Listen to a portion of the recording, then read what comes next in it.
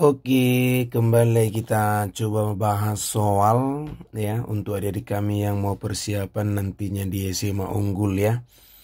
Nah, misalkan f suatu fungsi yang memenuhi f 1 per x plus 1 per x f minus x sama dengan 2x. Untuk setiap bilangan real x tidak sama dengan 0 Berapakah nilai dari F2? Nah, jadi di sini kita coba adik-adik lihat ya.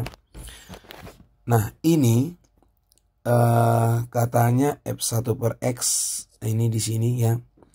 Jadi yang pertama kita harus fokus dulu mencari F2 gitu. Berarti artinya kita ganti X sama dengan 2 gitu ya. Ke sini. Jadinya F ya kan?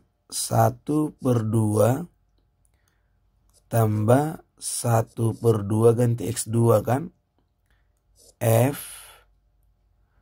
minus 2 ya kan? Sama dengan 2 kali 2 gitu. Nah kalau kita perhatikan di sini ternyata bukan muncul F2-nya kan gitu ya. Nah, berarti bagaimana cara supaya muncul F2? Berarti kita harus coba alternatif lain. Berarti X-nya misalnya kalau ini satu setengah misalnya setengah ya. Berarti F satu dibagi setengah ya berarti dua gitu ya. Ditambah satu dibagi setengah berarti dua F ini jadi minus setengah gitu ya. Nah itu. Kemudian ini jadinya dua kali setengah. Berarti F2 tambah dua kali F minus setengah sama dengan satu. Nah ini persamaan pertama. Oke bisa ya. Nah kemudian yang berikutnya kita lihat kalau di sini muncul F2 sudah. Nah ini minus setengah. Nah coba kita ambil X-nya adalah uh, minus 2 ya. Coba kita ambil X-nya minus 2. Kalau minus 2 berarti F 1 bagi minus 2 berarti min setengah ya kan. Tambah 1 per min 2 ya kan. Kali F2 gitu. Sama dengan 2 kali min 2. Jadi F min setengah dikurang setengah F2 sama dengan minus 4. Nah inilah persamaan yang kedua.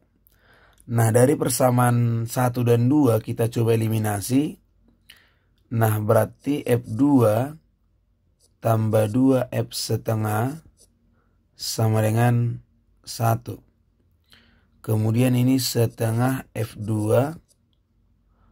eh min ya sorry min tambah F ini tadi min setengah ya sorry ini min setengah min setengah ya kan sama dengan minum 4. Nah jadi kalau kita coba ini kan 2 berarti kita cari F2 ya. Berarti ini otomatis kita kali berapa dik? Kita kali 2 kan? Ini kali 1 berarti jadinya berarti F2 tambah 2 F setengah sama dengan 1. Nah ini jadi min F2 tambah 2F min setengah sama dengan min 8. Nah ini kita coba. Karena ini sama-sama plus berarti langsung aja kita kurangkan.